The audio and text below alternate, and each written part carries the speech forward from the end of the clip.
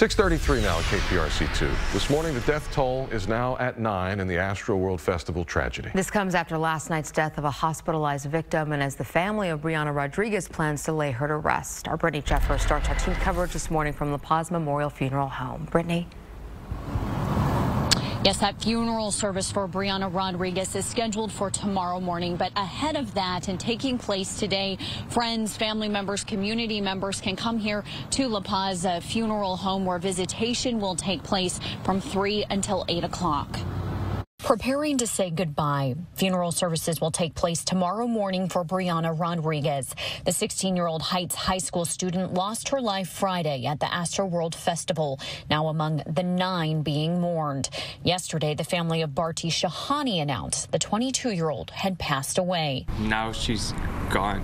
That special child is gone because of what happened on November 5th. Family members say the concert was a first for the Texas A&M student. Why did I say no to her? You know why?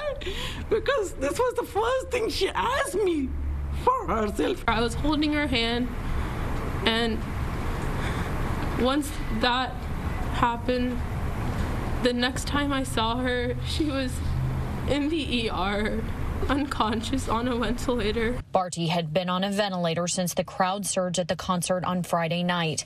The family is now grieving her death and says that she was the backbone of the family, a daughter, sister, cousin, and they filed a lawsuit saying that what happened shouldn't have.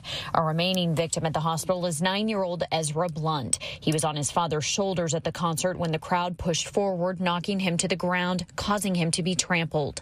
The little boy was put in a medically induced coma and is listed in critical condition. So again, those funeral services for Brianna Rodriguez will take place tomorrow morning at 9 a.m. Reporting live, I'm Brittany Jeffers, KPRC 2 News. Brittany, thank you today.